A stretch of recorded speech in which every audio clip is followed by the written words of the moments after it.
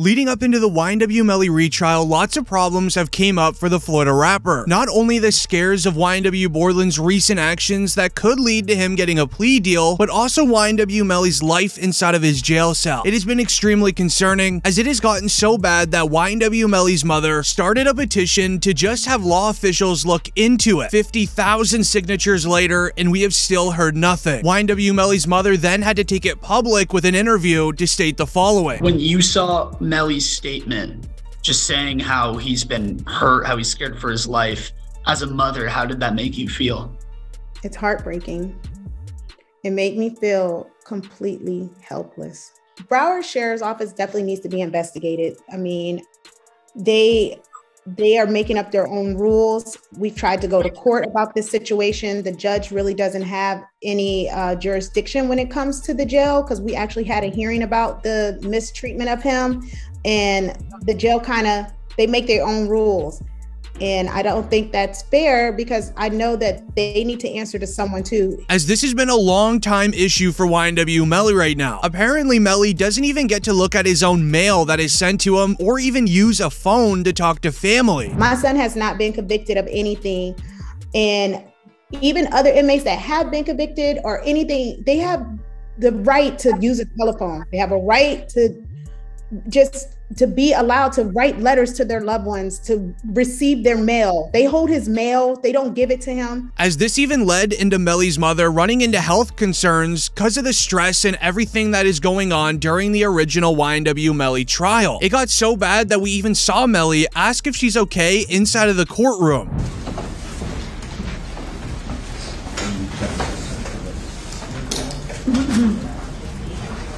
Sorry.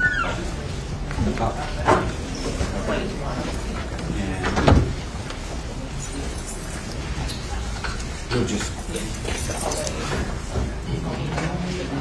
That's, that, don't do it. That's it.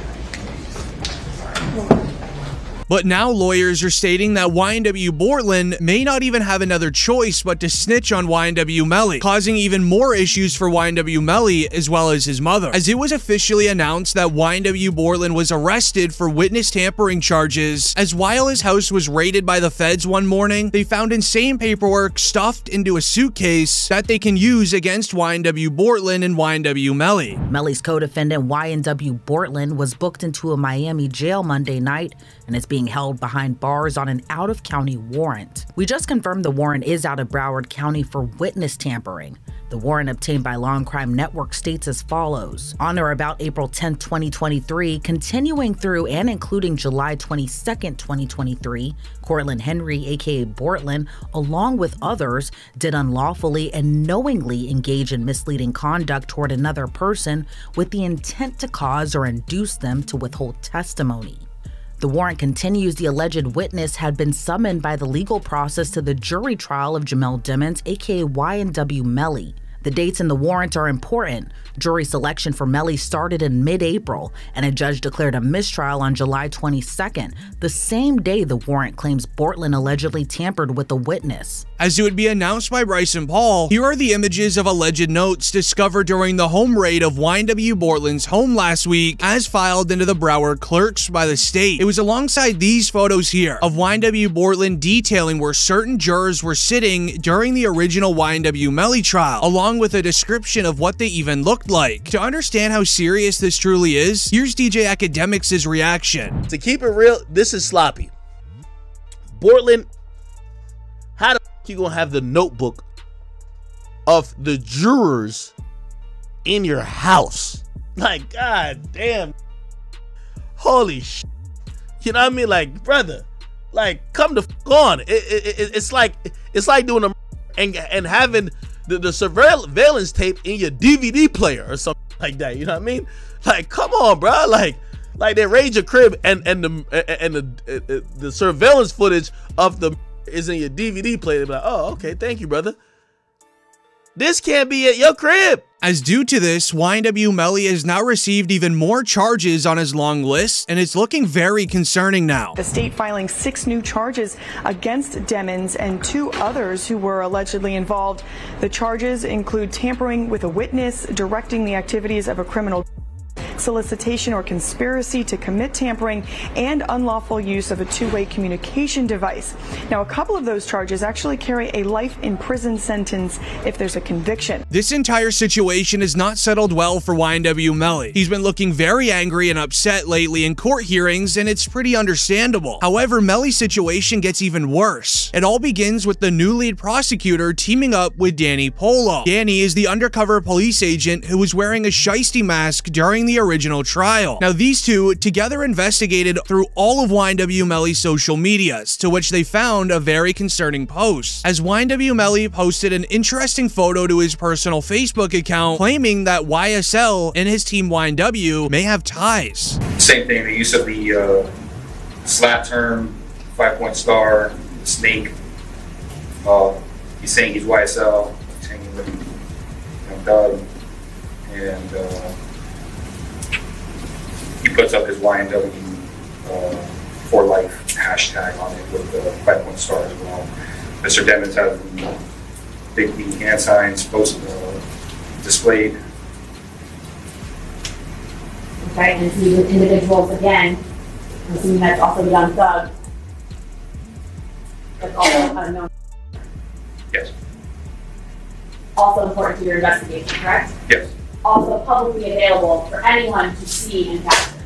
The lead prosecutor believes that YNW and YSL have street ties connected to one another, which would then even lead into Bryson Paul tweeting, Detective Danny Polo on what SLAT means. SLAT means sliming up all the time. It came out of the YSL language, and the Reds started copying it. YSL is the team made up of Reds. In this picture, YNW Melly is with Young Thug, who is currently on trial for RICO. The YSL team is throwing up red signs, as prosecutors believe that YSL is connected to YNW. Street members and street teams often share way too much on social media, whether it is to gain their own social media clout or they're just not smart enough to realize what they're saying is very illegal. Such as an example a few weeks ago, a man named Jay Hood, a close friend of King Von, as well as someone who lives in O Block, shared a secret of what Melly told King Von a few years ago. Did Von really tell you that Melly told him that he was two friends? he ain't come out and say like we got into an argument. And so you know if, if, if you know when people could say something without saying it.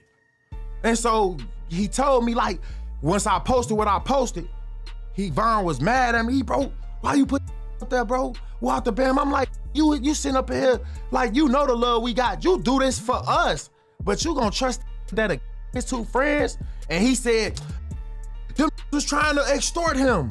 And so I'm like, if they was trying to extort him, then, why are you still around them? where he is literally revealing information that we never even knew, involving Sakchaser and Juvie going after Melly for financial gain. And even that new interview is now being added to the lawsuit that is going against YNW Melly right now. In the coming weeks, Melly will be returning for his retrial, but he's also now facing a massive lawsuit against the families of Sakchaser and Juvie. The report goes and reads, This is the video we requested from prosecutors in the state of Florida versus Jamel Demons. We have the honor of representing the family of Christopher Thomas, aka YNW Juvie. Melly's defense attorneys filed a motion for protective order to prevent me from obtaining it. The video was on Melly's cell phone, and it was recorded a month after he allegedly got his two friends. It doesn't show a man in mourning or seeking answers for his lost friends, and instead it mocks them, if not takes credit for it through false expression.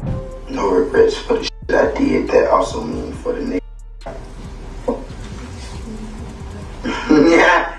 Both 30 a.m. Never say when.